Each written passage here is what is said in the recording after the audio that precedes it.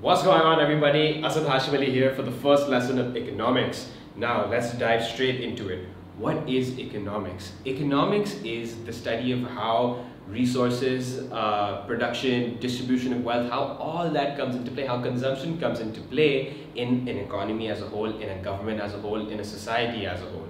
The great thing about economics, and this is why the tuition guys came together, is because sociology and economics come hand in hand with sociology, you understand why there's some political issues related on economics. And with economics, you get the answer to those issues and to the crises in today's day and age.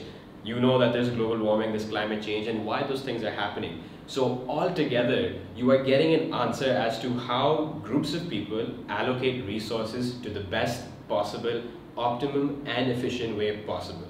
Now, the what that answers what is economics. The most important concept in economics actually is uh, that of scarcity. Now, because of unlimited wants, all of us want everything. I would like to have a studio and shoot this. I would like to have this shot being uh, with, with a red camera shooting in 4K and I would also like this to be everywhere in the world at real time and to see this live. But that can't happen because I don't have those resources, limited resources. Unlimited wants coupled with limited resources leads to something called scarcity. And scarcity is basically a limitation to what we have in our world with us right now. Scarcity is a problem which all of us are facing and that is actually what's leading to the world into climate change and into global warming because we don't have much oil left. We've cut off a lot of our trees, our, uh, our oceans are contaminated and we basically lost a lot of lives and natural resources along the way because of scarcity. Now, what are these resources which are limited? These resources are something called factors of production. Factors of production are of four types, land, labor, capital, and enterprise.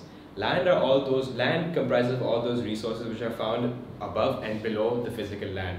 Anything in the sea is uh, comprises is, is classified as land. Anything above like trees, fruit, cotton, wheat, um, all that comes onto, uh, onto into land. Now, for example, as a factor of production, even your property would be considered as land if you're not using it to actually produce something else. Uh, labor is the human effort of work. All right, so me being an economics teacher right now, that is my labor into my effort being. So my effort would be classified as labor. Now, capital. Capital is anything that helps process or helps in the production process of what I'm doing. For example, this whiteboard right here is capital for me. It's helping me teach you guys and it's helping me conduct my classes on a regular basis. So that is my capital into this whole venture. Now, enterprise. Enterprise basically is the risk-taking component of the other three factors of production. Entrepreneurs exercise a risk in allocating these resources to the best of their ability for their ventures and for their businesses or for uh, for the for the need of human for the for human people for human for the human beings and for uh, just making sure that they can achieve their goals along the way. Now, these resources, all right, these factors of production come in three different sectors. But before I mention these three different sectors, understand that you have something called a primary sector, sorry, uh, you have a, a public sector and you have a private sector. Now, the public sector and the private sector, all right, two new words. But what comes above that? These two categories are called economic agents. Now, economic agents are the government, you as individuals, and firms and businesses. All right? These three can be either in the public or in the private sector. The public sector are those services or those service providing industries that are run by the government, uh, that do not make a profit, or that are there to help people and to provide basic needs and necessities. The private sector comprises of individuals and firms and businesses that are there to make a profit or that are there to provide anything at, um, at some premium altogether. Now, the public and the private sector exercise their abilities to make anything in from the primary sector, the secondary sector, or the tertiary sector. The primary sector is the first stage in the industrial sectors where they are extracting natural resources. So for example, Exxon and Shell, if they're mining for oil, that would be that they, their, their venture is in the primary sector because they're in the work of natural resource extraction. That means that oil, minerals, um, sea salt, even uh, fishery, fishing, that would be the primary sector of uh, industries. The secondary sector. Now this is the manufacturing part of the, uh, the secondary sector in which you will see um, that anything that is actually furthering the process. So you have fishing as a primary sector, but then that fish needs to be uh, scaled and cut and finished before it gets sold. So that part, the cutting and the scaling is the secondary sector. The tertiary sector is the service sector, and that is where there's human interaction and when goods are being sold, like retail, like H&M. H&M is in the service sector, the stores are in the service sector, banking, insurance, so on and so forth. Now, the second last concept we're going to touch is opportunity cost. This is, never forget this definition, the next best alternative foregone, the expense that comes. The government could have to make a school or um, let's say a hospital. Now they have limited resources, we all know that. So if they use all their resources to make a school, they can't make a hospital. That means that the opportunity cost of making a school is a hospital.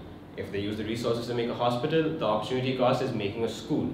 So it's the expense, remember that. We're going to touch that in just a second. It's the expense of making these things. The expense of making a hospital is a school, the expense of making a school is a hospital.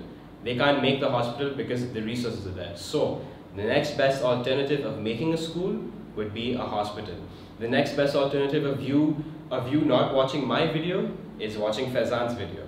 Yeah, because you can't watch them at the same time, right? Makes sense? Now, oh, the board changed. That's okay, that's weird. So, um, how do you describe opportunity cost on a curve or a, on a graph?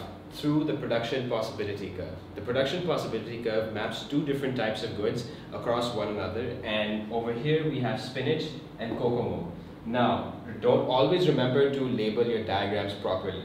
Alright, so the first, if we have all our resources dedicated to spinach, the economy could be making A of spinach. And if all the resources were, were dedicated to making kokomo, we would be making B of kokomo. Alright, Un understood? Now this curve is downward sloping, it's concave, which means that along, if we move along the, um, the PPC, we are actually uh, shifting our resource allocation. So we are changing the combination of resources to make spinach and kokomo across this line.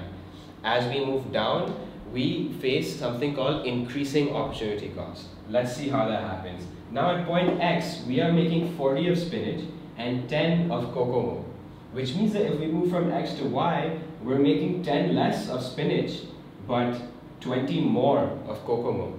Alright, so that means that there's an opportunity cost. That means that if we um, say shift from back from Y to X, if we go backwards, let's say that the government doesn't like this combination and they want to go back from X from Y to X, that means that the expense is more. We to get just get 10 more of spinach, we're actually losing 20 more of kokomo, which means that the expense is more. The, the, the alternative to making 10 more of spinach is actually 20 less units of kokomo.